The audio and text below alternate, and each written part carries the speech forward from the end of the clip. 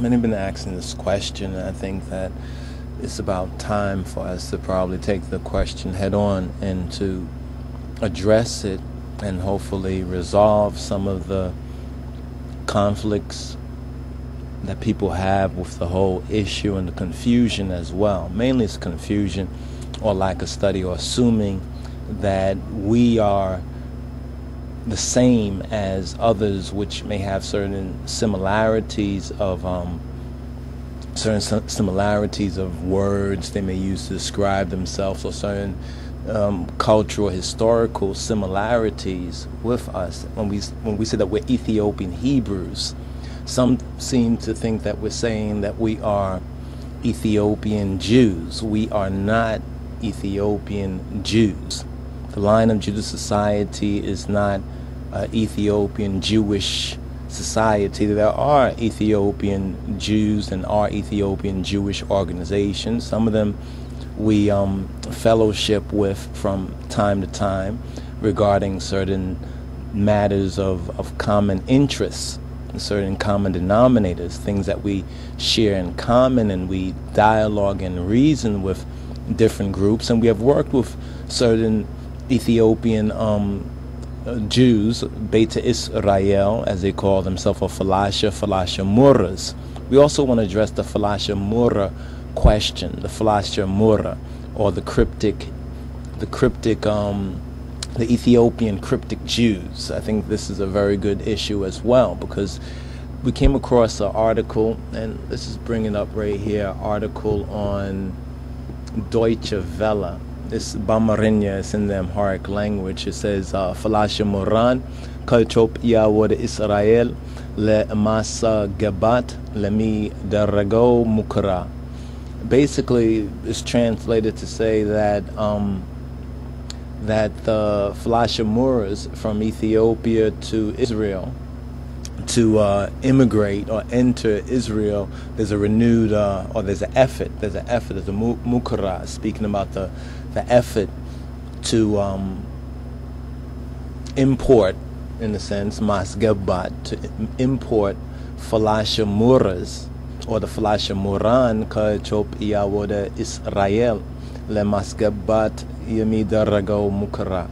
And it's very very interesting because um, there are those who say chopia yemigenu ya aihuda zeria um, there's many thousands of them, uh, Beshiwoch, uh, Yemikot Rusawoch, that want to go with Israel, Le Mefles, uh, Yasgabutina, Mamela Kecha, Yemia Meremru, Bale Sultanatina, Israel, Balefoa Samint, wode Ethiopia, Le College, that certain of the authorities from the state of Israel, from the Jebusite, Jerus, uh, Jezreel, Jezreeli state have sent um, a delegation to go investigate as to whether there are still remaining falashas as they are called. Now, falasha, and this is speaking to a lot of our people since we've brought up the subject matter of being linguistically handicapped, we have to understand exactly what falasha mean. And most people only understand what falasha mean by um, translation, other people translating for them. But if you were to study the Ethiopic and the Ge'ez, you will see that the word uh, uh, falesa, from which falasha comes from, means one who is exiled, one who has been pushed off of their land, and one who is exiled. So a more correct translation of falasha would be exiles. So we are here in the West, the Beta Israel, the lost sheep, so called African American and Afro West Indians who were transported over here in fulfillment of Deuteronomy chapter 28, verse 68. We are the true Falashas of the West.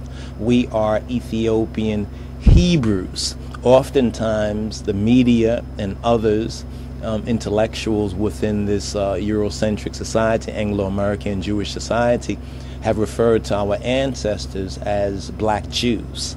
So, in some of the literature you would find that has been written about us, and those of us who've written about ourselves ignorantly, not knowing or willing to make believe have written that we are black Jews or Ethiopian Jews. And we're not speaking for those in Ethiopia.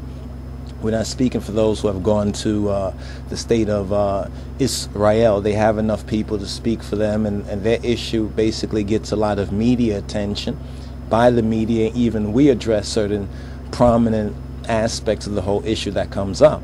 However, for the most part, the Ethiopian so-called Jews don't really care or not really are not really invested in our struggle. There's a few, but overall, many of them are not invested in our struggle.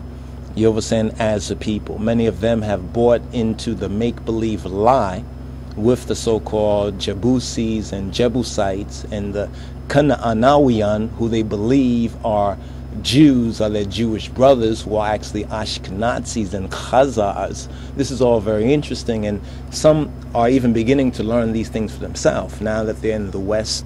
Now that they are have access to the education and the media, some of them reluctantly are beginning to learn that what we've been saying for so many years concerning the so-called Jews, European white Ashkenazi Jews, are true even though they now are kind of caught up because many of them have been um, have been um, transported to the state of Israel, are indebted, are all connected in the Jewish, the, the, the pale Jewish establishment, which is going on out there, and they're caught up in the army and the war, so forth and so on. Now, we do have certain black Hebrew communities in the state of Jezreel over there, such as the Ben-Ami Carter community and the African Hebrews who are in the state of Jezreel in the Dimona area, and those are our more our direct brothers and sisters. We share more in common with